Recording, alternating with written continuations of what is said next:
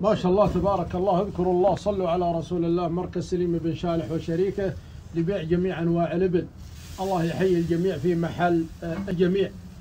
فيه ملاحظة ودي أذكرها ليتجنبها الجميع وهي أن بعض الضيوف إذا جاء عند المضيف صبوا له فنجان شرب منه شوي وترك. جو يصبون له شاهي قال لا لا بس ما عاد أبغاه.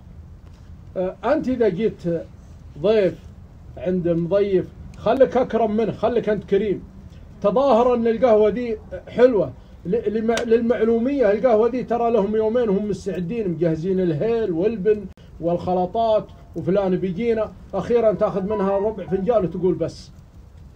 فحاول إنك تتظاهر للمضيف إن قهوتكم حلوة واشرب منها خمسة ستة فناجيل حتى لو إنك ما تحب القهوة. وإذا صبوا الشاهي قل ما شاء الله الشاهي ذا ما شاء الله. اشرب اشرب. تظاهر أمامهم.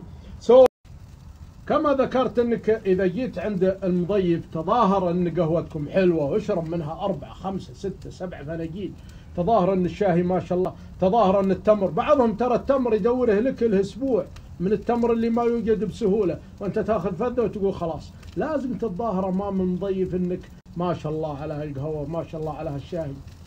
والمصيبة كل المصيبة. أن بعضهم شاري ذبيحة ب 1500 و- وتعبانين في الطبخ وإذا جاء المضيف الخبيل ذا أخذ منها لقمة وقال كف يده ال- ال- المضيف يستغرب ليش مكل؟ يمكن آه، ما هو بحلو يمكن ملح يمكن يمكن. الرجال اللي جالسة ربما إذا شافوا المضيف كف يده ربما إنهم يتركون على ما قالوا بعض العرب ينقرهم آه، يتركون العشاء. فحاول إنك تاكل تتظاهر ما شاء الله إن ذبيحتكم ذي مباركة وحلوة وكل فوق طاقتك. على أساس يقول